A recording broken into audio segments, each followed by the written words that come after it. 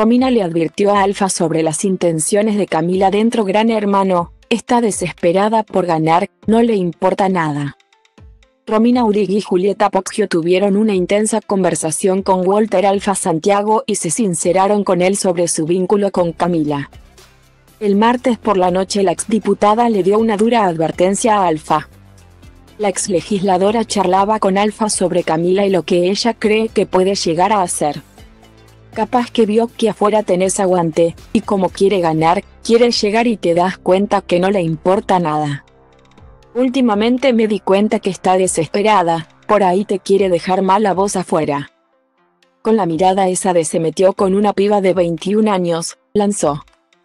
Para Alfa la que podría quedar mal sería Camila, ya que para él afuera podría estar quedando bien, es todo al revés, dirían el más viejo de la casa se levantó a la pendeja de la casa y yo quedaría ante todo el mundo como mira.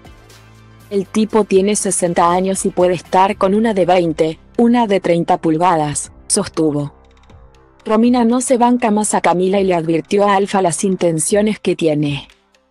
En ese momento, Julieta, que también se encontraba en el patio, opinó.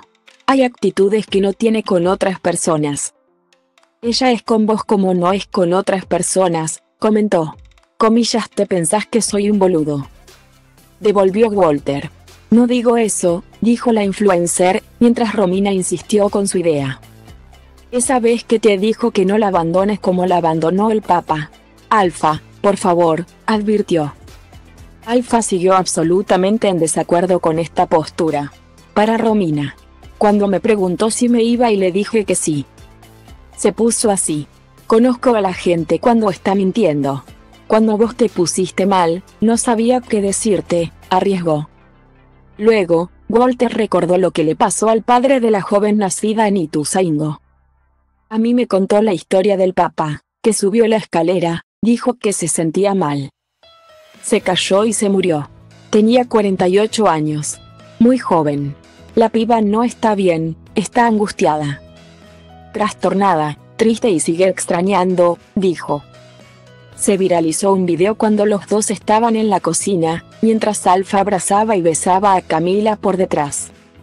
El corte duró poco, ya que rápidamente desde la producción cambiaron de cámara y no se pudo saber cómo siguió esa secuencia. Julieta Poggio decidió subir un cambio al juego y realizó la nominación espontánea. Reveló el conductor del programa. Julieta hizo la espontánea. Le dio tres votos a Agustín y dos a Ariel. Esto abre la placa de mañana, contó Santiago del Moro.